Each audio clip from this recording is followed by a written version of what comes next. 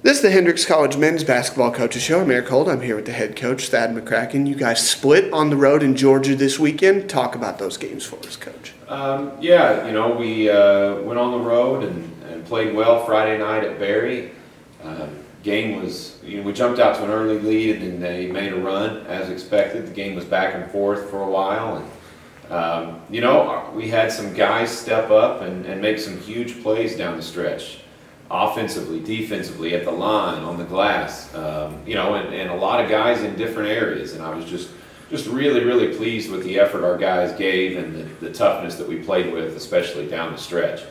Um, and then Sunday's game at Oglethorpe, um, you know, I, I felt like, uh, you know, we lacked the energy and the fight that we played with Friday night.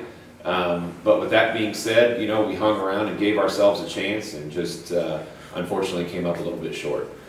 Preston Smith played a good ball game Friday night. He came up with some big shots. Um, talk about his growth throughout the season and having to take over for the role for Jordan that he has. Yeah, you know, um, Preston's been put in a tough spot this year. It's hard to come in as a freshman and and um, you know play the minutes he's played, but also to do it at the point guard spot and, and run our team.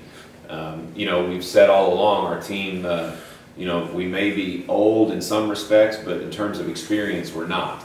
And uh, here he is running running the show for a team that, that's very inexperienced, and um, you know, I'm sure it's taken its toll on him mentally, but he's continued to hang in there and continue to improve as a player. And then, yeah, he stepped up in the guts of the game Friday night and hit a really big shot for us. Um, now, this weekend, you guys return home. Friday Friday night is senior night. It's always a big deal. Um, talk about the seniors uh, and how they've impacted this program. Uh, I don't think I could uh, words do it justice. You know, I think it's easy for people to look and see the impact that Drew and John and, and JB, you know, despite his season-ending injury this year, um, it's easy to see the stat sheet, the impact that those guys have had. Um, you know, and they've had a huge impact off the court as well.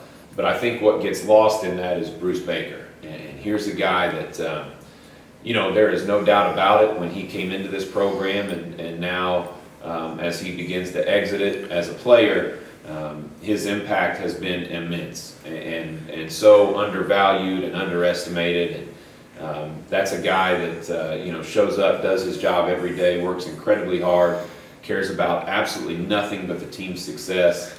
And, uh, you know, I just have the utmost love and respect for Bruce. And, and I love and respect all those guys. And I don't mean to take anything away from Drew, John, and JB. Um, but again, their impact um, can be measured by stats and things like that, um, whereas Bruce's can't. Uh, but I can promise, I can promise you, it's as great, if not greater. And then you guys return home, final home stand of the season this weekend. You get Sewanee Friday night, Centre on Sunday. Both games were close on the road. Talk about those two this weekend. Yeah, um, be two good games, two two talented teams, two well coached teams. Um, you know, we're going to have to play well in both to win them, but we certainly think we're capable. Um, like you said, we went on the road earlier in the year um, and battled both of them um, down to the wire. And, you know, we expect to do the same. We hope to uh, we hope to come out on the top side this time. All right, coach. Thank you very much. Thank you, Eric.